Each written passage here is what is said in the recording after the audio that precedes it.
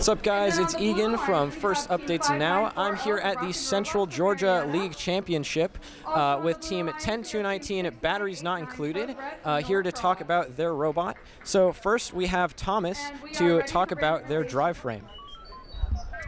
Yeah, so uh, what we have here is we have a custom CNC chassis. We cut this out of air, uh, airplane grade aluminum, uh, which makes it super stable, super hard, uh, and it's not going to warp under uh, different conditions like wood would, like wood would. Um, then on the inside we have mecanum wheels so that we can do strafing and this is really important for getting the right build angles and making sure that we can stack efficiently. And uh, lastly we spaced our uh, chassis out so that we could fit rev hubs on the inside so that it could be an integrated system. Uh, and yeah, that's, that's what I got.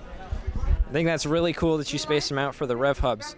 Uh, now we have Gavin here to talk about their intake. Yeah, so our intake is deployed, well, it fits inside the 18 now. It's folded back and it's deploying using this servo here, which deploys it down. And we have these compliant wheels and some sprockets and chain to help drive it. Uh, we have what we like to call a CNC sandwich, where we have two CNC parts, one on the top and one on the bottom, to help kind of hold everything together. And uh, these two intake pieces are both driven by 3.7 motors to ensure that we have great speed when intaking the blocks. And one unique thing about our intake is the fact that we have springs on top so that we can actually intake the block from any angle uh, possible almost. And it just goes in like that. Three. That's really cool. I like that you called that the CNC sandwich. Uh, and now Patrick's here. You've uh, you're talking about the lift. Yeah.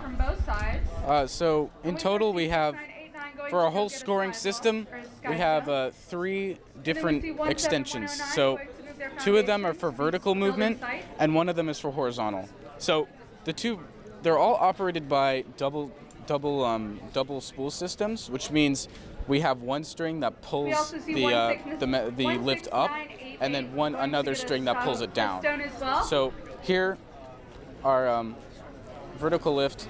As well as 5940 looking to get a stone as well. Our vertical lift goes up like this, and we grab the block using a nub grabber, which is what we call it. So this nub grabber right here has rubber on it, and it and it firmly grips the block with it but uh, with the nub right there and pushes it into the back plate. So we have a really secure a hold of the block. Then this horizontal extension uh, brings it out